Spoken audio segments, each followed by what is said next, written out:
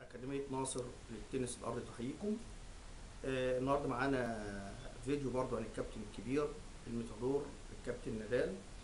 آه نادال فقط لا غير في التنس الأرضي إيه يعني نادال فقط لا غير؟ شوف بقى البطولات اللي حصل عليها. كلها كام بطولة حصل عليهم. آه لا يوجد لاعب تنس أرضي حتى تاريخه حتى الآن في لعبة التنس الأرضي تمكن مما فعله نادال. فاز بالفوز فاز بلقب جراند سلام واحد على في جراند سلام واحد على الأقل لسنوات متتالية عديدة. نادال هو اللاعب التنس الارضي الوحيد الذي فاز بلقب جراند سلام آه واحد على الأقل لمدة تسع سنوات متتالية. تسع سنوات متتالية. متغلبا بذلك على كل من بيورن بورغ وبيتسمبرس وروجر فيدرر. آه الذين فازوا بلقب واحد على الأقل لمدة 8 سنوات متتالية. اللاعب الوحيد الذي فاز بجميع هذه البطولات في جميع هذه البطولات هو كان نادال.